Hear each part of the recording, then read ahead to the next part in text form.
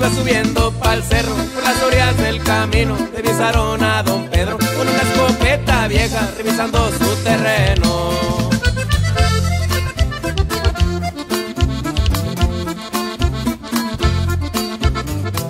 Don Pedro no tuvo tiempo ni de aventar la escopeta Los guachitos le apuntaban directo hacia la cabeza Que se le acabó el corrido por andar de sinvergüenza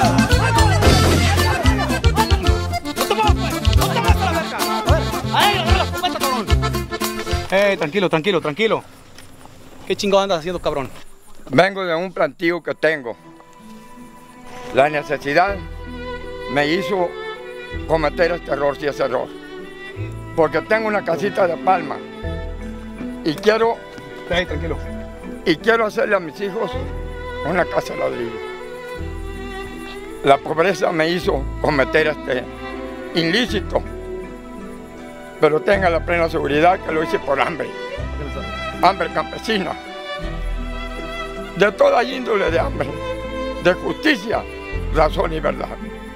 Si he cometido un error, perdónemelo, por querer cubrir a mis hijos, a mis nietos, con una casita de ladrillo. Tranquilo, viejo, yo también pasé lo mismo. Yo también fui pobre y quise una casa de ladrillo. Vete. Gracias. El teniente pega el brinco y le empieza a preguntar. Estudia toda la goma, no te pagan por sembrar. Los hombres que son de huevo no ocultan la verdad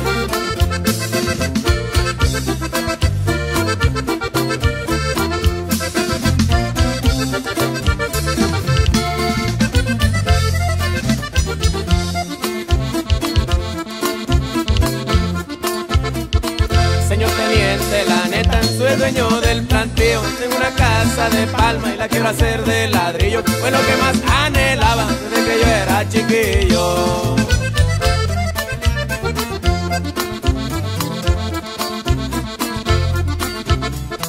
Un guachito se acelera queriéndolo ganatear. Pero el teniente le grita, no lo vayas a tentar Yo también fui un hombre pobre que no tenía para tragar